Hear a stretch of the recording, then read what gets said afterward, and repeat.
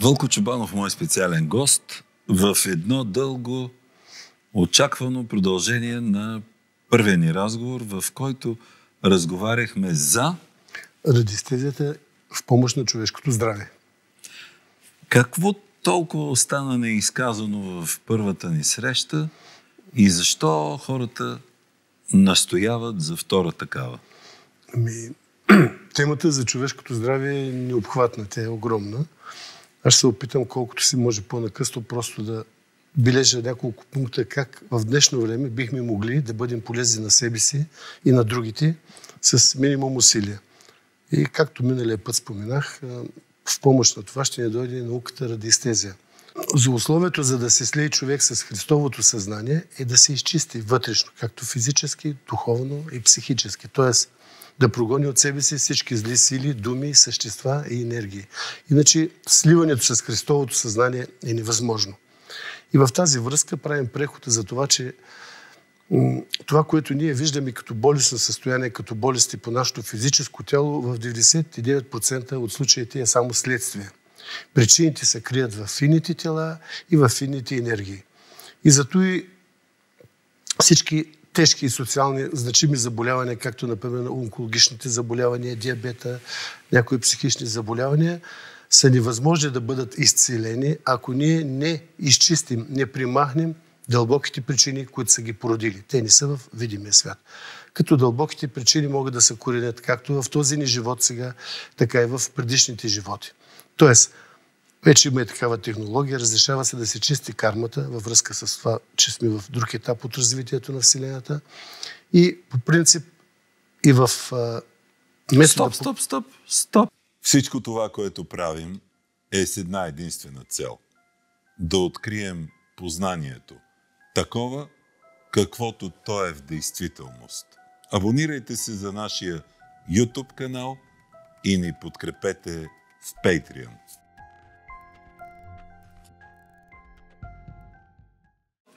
Да. Щях да пропусна нещо да. важно. Каква е тази технология, която позволява да се чисти кармата? Технологията мога да се опитам. Аз се преподавам на всички курсисти и мога да се опитам да обясня с две-три думи. Слушам. Значи, възползвайки се от това, че м- закон първи на херметизма, че Вселената е ментална и че времето като такова не съществува, ние работим по една координатна ос. В дясно условно е миналото, вляво е бъдещето, това е четвър, четвъртичният модел. Нагоре е връзката с Твореца, а надолу е сега настоящето. Взимаме в пространството и времето една условна дата, която съм намирал по радистезичен начин. Това е 12, 21 април 3564 година казвам условна дата, за която за да може да, да, се, да се облегнем на нещо. Рождеството Христово, раждането на Христос, е, нямаме никакви доказателства за това, че Той се е родил именно тогава. И това е несигурна основа, от която тръгваме. Тоест няма абсолютно никакви документи за това, кога е роден Христос. Разбирате ли ме? И затова ние взимаме като крайна дата в нашето триизмерно пространство годината, в която човечеството ще трябва да напусне планетата Земя. Отначало си помислих, че това е плод на моята фантазия, но по-късно, като прочитах Баба Ванга, Нострадамус, Дядо Влайчо, всичките гравитират плюс-минус няколко години до тази дата. Тоест, през тази дата вече температурата на планетата ще е толкова висока, че тук нашите физически тела няма да могат да съществуват и тук ще останат само тези енергийни биороботи, които да работят и да продължават да правят това, което трябва да правят. Та, Достигайки обаче, има съответно, за да се влезе в пространствено времевия континуум, да изчистите всичките си досието, нека да го наречем досие, което от първото ви прераждане до сега, се е необходимо да сте постигнали една определена вибрация, ниво на вибрация. Под тази, това ниво не ви пускат. Въпреки, че на това му намерихме колая до някъде, временно може да покачите вибрационната си частота, за да ви пуснат. Трябва да представите своя бач, т.е. своето ДНК, за да разбере, че вие искате да влезете в картотеката и след това според на технология стандартна, вие може да изчистите всичките дълбоки причини, задължения, договори на душата, грехове, които имате и така нататък. И оттам на сетне, след няколко минути, пред вас се отваря една врата на новия живот. Вие вече нямате задължения. И ако вие се съобразявате с това какво правите от тук на сетне, вече вашата карма не ви тежи. Преди това беше невъзможно и имаше една субстанция, която наричаха господаря на кармата, през които минаваше само това на някой да му се опрости нещо. Сега вече се разрешава. Та, когато ние с помощта на радиестезията се опитваме да лекуваме, например, онкологичните заболявания, които са най-големия бич сега, то не е само те, ми сърдечна съдовите, ние най-напред трябва да изчистим всички задължения от този човек. Защото по принцип не, това не е само мое мнение на редица медици и професори, че, например, онкологията е кърмично заболяване. Това е запис, който ние носим в нашото ДНК. Този запис го има всеки един от нас. Ние имаме множество туморни клетки, които обаче при някои се развиват, при други не се развиват. И зато и съвременната медицина до някъде не успява да се справи с задачата, защото дори да отстранят огнището тумора, ние имаме още стотици и стотици клетки туморни, които от някакъв сигнал могат да се развият и вие правите след това и разсейки и рецидив. Махат тумора, обаче след няколко месеца те тръгват да се развиват тези клетки и затова докато не се автофагират или да се дематериализират, забележете, дематериализират, така да се превърнат в енергия, значи заболяването не може да бъде отстранено. Пример за това как се дематериализират тези неща, може да видите в YouTube има един клип на един американски писател, забравяхме името, който е бил в китайска болница, където му показва как трима китайци за 3 минути стапят е толкова 4 см тумор. Стапят го пред погледа на очудената. Сега ние не можем да бъдем толкова добри, но като начало всеки от нас би могъл да се научи след като доби определени познания, да дематериализира вирусите, например. Тоест, вие прихващате някакъв вирус, дори и ковида. Въпросът за неговата не автофа, а да спре организма да го произвежда, да се размножава той в нашите клетки, а да го привърнете в енергия и да го изхвърлите в мястото за космически буклук, е въпрос на няколко минути. След няколко минути, съвсем научно доказано, този вирус изчезва и отсъства. Разбирате ли за какво става на въпрос? Не, не разбирам още. и, това, и това след известно обучение и полозна доза труд може да го постигне абсолютно всеки. Когато говорим за радистезия и здраве, искам да спомена, че по отношение на начините на лечение на човека, най-разпространеното учение, което е в момента или система, това е на Людмила Пучко. Тя вече не е между живите, но тя даде на нас, човечеството даде пътя, насоките, по които всеки един от нас може да се самодиагностицира и самоликува. Това е теорията и практиката на вибрационните редове. Аз искам така с две думи да обясня на хората какво означава това, защото е хубаво човек да си има понятие и представа. Тоест, вибрационните редове представляват лечение. Вие лекувате пациента със своята енергия, вашата биологична енергия, която ние произвеждаме в неограничени количества, само че тази енергия се премодулира през някаква програма, която програма ние наричаме вибрационен ред която вие е съставите. Обикновено класиката в жанра, това са различни а, символи, числа, букви, знаци на зодиака и така нататък. Прави се една пиктограма, проверявате я, енергизирате я със своята енергия и с помощта на свидетел на пациента или снимка или ДНК, коса, нокът, те изпращате колкото е по-далеч пациента, по-добре. Лечението е по-ефективно.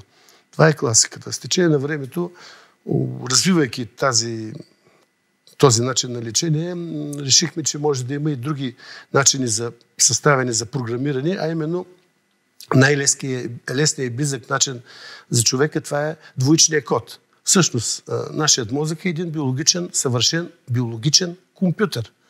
И работейки с единици и нули, ние може да съставим програма, т.е. ние ставаме програмисти, в която да кажем на мозъка, прави това и това, командвай жлезите с вътрешна секреция, там има проблем, взима и решение. И компютъра взима решение и издава на... Има и биологични подкомпютри на отделните системи, издава команда и започва самолечение на организма. Защото ние реално всеки един организъм в нашото ДНК е заложена система за самолечение, самовъзстановяване и саморегенерация на органите системите, която обаче е блокирана. Миналия път обясних защо е блокирана. Все още ни ни разрешават и с право до някъде, тъй като човечеството е доста незряло, още е в прохождат се възраст. В тази връзка искам да направя едно известно отклонение, което миналия път не можах да кажа. За, става въпрос за нашия мозък. Защо м- при такъв съвършен, при такова съвършено творение, каквото е човешкият мозък с неограничени възможности, още една скоба отваряме под скоба. Тесла, например, е направил и конструирал устройство, което превръща енергията на мозъка директно в електричество. След направения експеримент той унищожава това нещо, унищожава всички записки само там двама от неговите помощници са го видяли как става това нещо, защото се, правилно се е притесняват, че това веднага ще бъде използвано от военните. Но нашият мозък има огромни възможности. Той работи максимум при най-развитите хора между 5 и 6% от това, което може да прави. И винаги съм се чудил защо е така. Ами това е така, защото нашият биологичен компютър е пряко свързан с цел, с, и, и, и работи в условията на земния магнетизъм, на земното магнитно поле. Въобще всички, затова на космонавтите им слагат изкуствено магнитно поле. Отделството на Тодор Живко, което откраднаха, беше точно това. Изкуствено магнитно поле. Чакайте, чакайте. Кое отделци на Тодор Живко? Ами, на което откраднаха, когато се оплакваше, че аз имах едно отделци и след като майор Ани му закрепи... то не е било просто не, отделце. Не, не, просто и след а, няколко месеца дойдоха от, от Германия едни специалисти да предлагат тези продукти и се оказа, че това малко невинно юношеско отделце струва няколко хиляди лева на онези пари. То е изкуствено магнитно поле, което помага нашите клетки да корпускулират, да трептират в правилната посока. И обаче винаги съм се задал въпрос, защо нашия мозък не ще да работи така на пълни обороти. Едната причина е, че няма енергия. Втората причина е, че всички мозъци на планетата, човешки, са свързани, па те не само човешките, пак по законите на херметизма, за привличането между подобните, с земното магнитно поле. И всички, които са чели Тюрен и знаят как се извършва лечението от разстояние, знаят, че се използва земното магнитно поле за носеща частота, на която се качва от програмите. И тя отива, пътешества и стига до човека, до който е изпратена.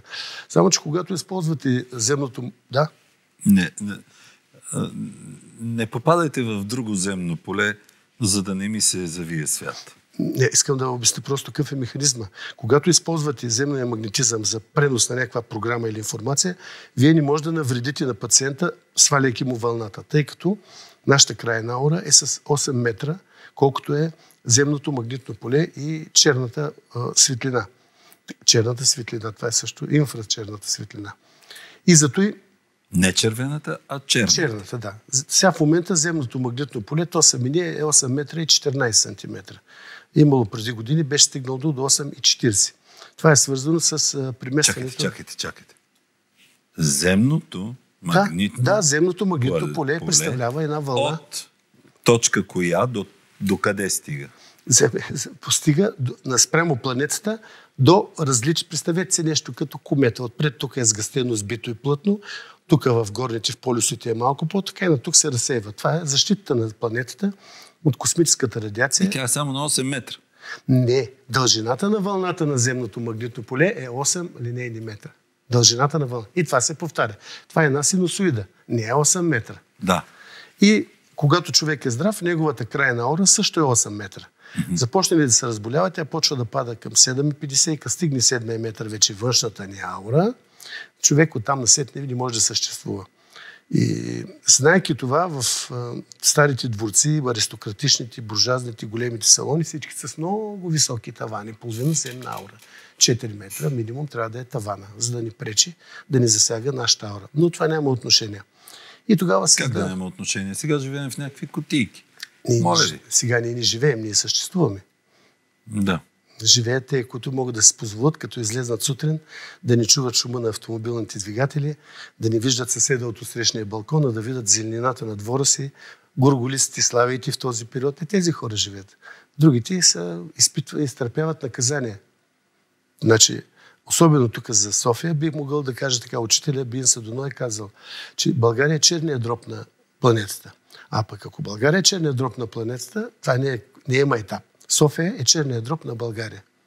И се чуда с каква сила са събрали толкова много хора, които имат кърмични задължения, за да могат да ги изкупат, събирайки ги на едно место в този град. Това не е шега. Ние горките софиянци. Да, и вашата обща аура е много жалка на всички. Накъсана, разпарцелевина, оранжево, червена, жълта и няма нищо общо с аурата на хората от Казанлък, от Стара Загора, да не говорим от тези по селата. Това е защото общата аура е свързана с изключително много материали. Добре, Велко, защо всички искат да идват в София? Еми, защото не знам защо. Защото, защото явно не са наясно със себе си, не знаят какво искат. Ти би ли живял, ако можеш да живееш на село сред природата, да живееш в София? Искат да идват, защото системата е такава, че целият живот на човека минава в борба за оцеляване. Ти целият си живот, за да оцелееш, трябва да работиш. Не ти оставят свободно време. Дори онзи евреен Маркс Хитър е казал, че при комунизма богатството на хората ще се измерва с свободното им време. Вие да виждате от тук присъстващи някой да има свободно време? Да. Като сложите физиологични нужди, сън, пътуване напред, назад, работа и край. Това е живота. И това година, две, три, 30, 40. И в един момент камбаната издранчава и ти разбира, че всъщност живота е малко по-настрани, където освен природата виждаш и Бог и не мислиш за тези неща. А колко би било редно да живее един човек? Колко, значи доказано е, научно доказано, съвременната медицина, че а, благодарение на броя на деленията на нашите клетки. Вие знаете, че всички органи и системи периодично се обновяват с нови клетки. Костната система за една година, най-бързо е лигавицата на остата за един-два дена, лигавицата на, на тънките дебелите черва също за 3 дена се сменя на 100% с нови клетки, панкреаса за 3 месеца и така нататък. На тази база се изчислили, че средно човешкият живот трябва да продължи между 127 и 170 години. Така, има доказателства писмени за хора, които са живели повече от това. Но като цяло от тези най-големите дълголетници на Кавказ, които са били, са толкова 160, 170, 156 и 7 е в, в този диапазон. Но не е важно колко дълго може да живее човек. Физическото безсмъртие също е възможно. И наближава времето, когато на нас ще ни бъде разкрита тайната на това физическо безсмъртие. Важното е за какво живее човек.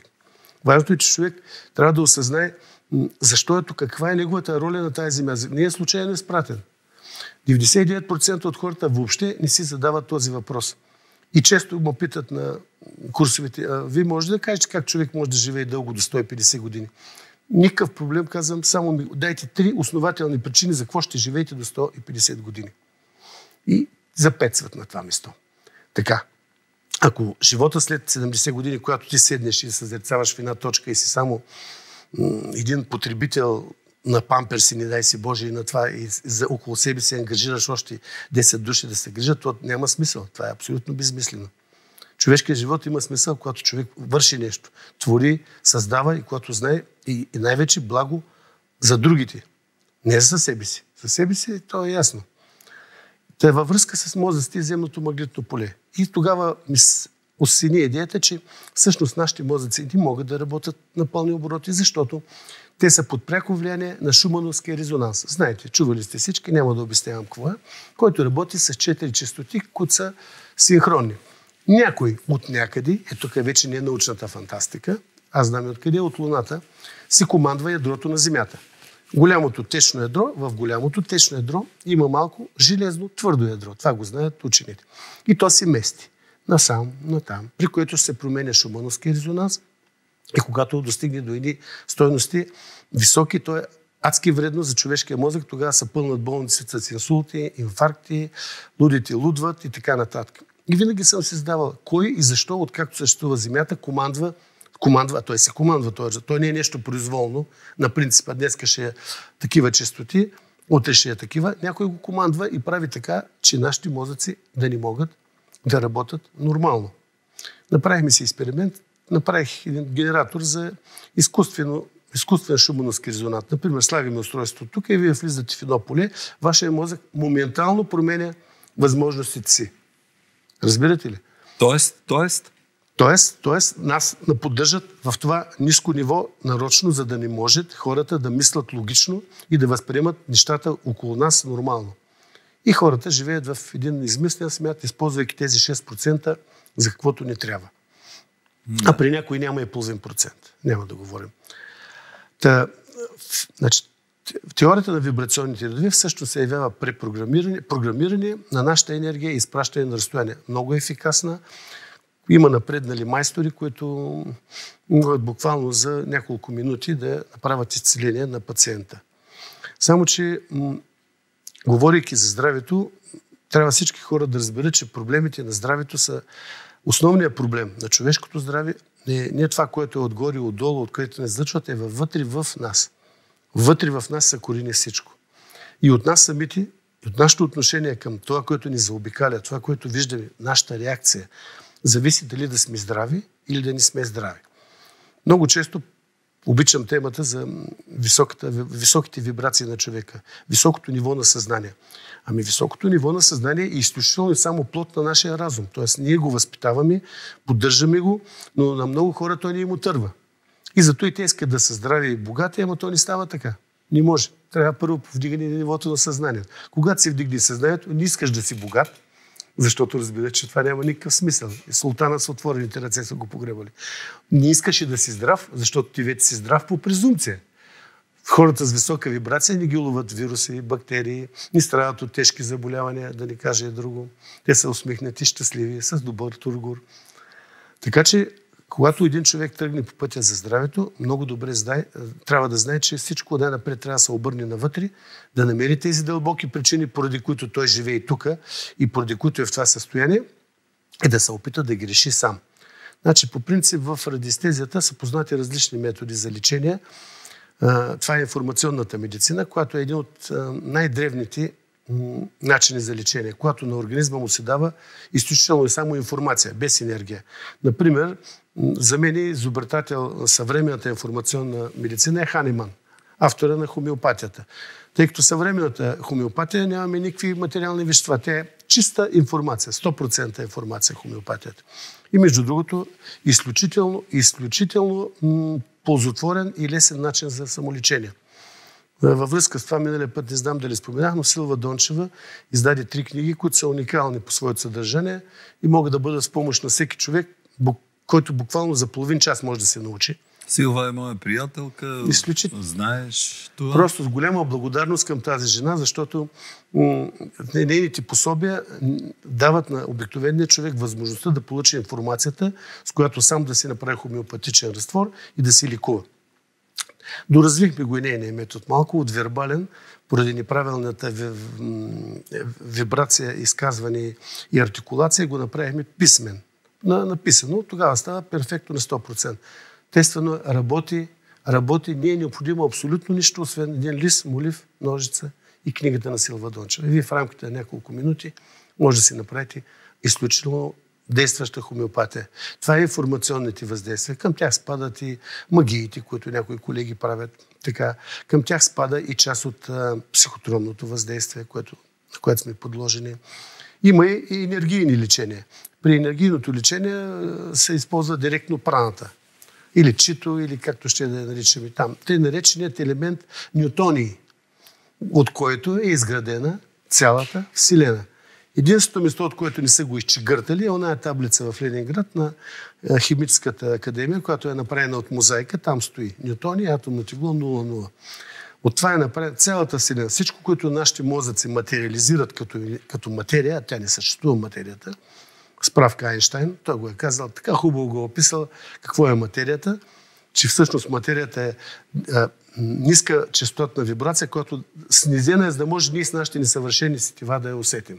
Е, неща няма, такова чудо няма. И всъщност от този ньютони, от тази прана чи, е изработено всичко в Вселената. И при енергийното лечение, било от разстояние или от близко, както сме сега ние двамата, аз мога да и, или цветна прана диференцирана, или пък най-обикновена прана, черпейки от Вселената, черпейки от Вселената, за да не се изтощава моят акумулатор, мога да изпратя към вас и да ви извърша изключително успешно лечение в рамките на няколко минути. Това е най-добри като школа са филипинските лечители. Те са го доразвили в тези операции, които правят. На български язик излезнаха няколко книги на един американски лекар за Липтън, доктор Липтън. Казва се квантова синхронизация. Чудото на изцелението. Там човек всъщност става проводник на, на, на тези вибрации, които идват от първоисточника и ги прехвърля в пациента, за да може да му даде указания как трябва да вибрира черния дроб, сърцето, бели трове.